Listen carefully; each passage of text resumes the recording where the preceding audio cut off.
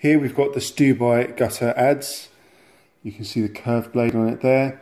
That's a really nice tool, good stout handle made of ash.